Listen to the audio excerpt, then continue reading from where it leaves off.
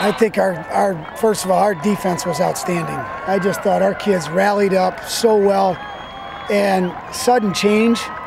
Yeah, they they gave us so many opportunities. Our defense did, and I'm just so proud of them.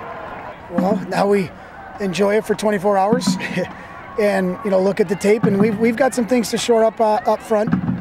But uh, of course, we're excited about it. I mean, that's a huge, huge win for our program. Huge rivalry win.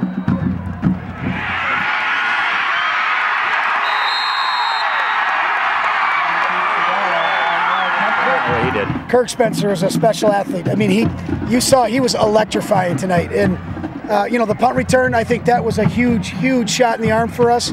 And then we turn the ball over on downs, and then Dion picks it off there to, to, to score another one. That was a huge sudden change for us.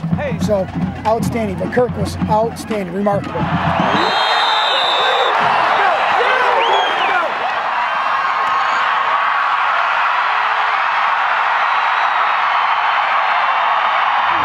That was huge. And I don't know if we were in control physically as much as we were probably the speed of it. They, they played fast, and that's help. That's helpful in that situation.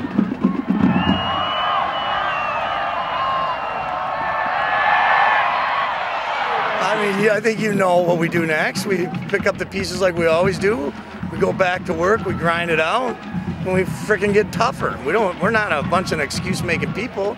That was, you know, it's what we are. We're just, you know, a good team. It wasn't like we were playing a bad team, I don't think. I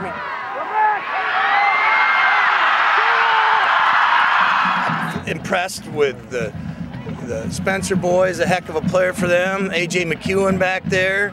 Even Joby got a pick. Drummond. Those four kids, you know, they're the heart and soul of that team. Very impressed with those four kids. Outstanding players.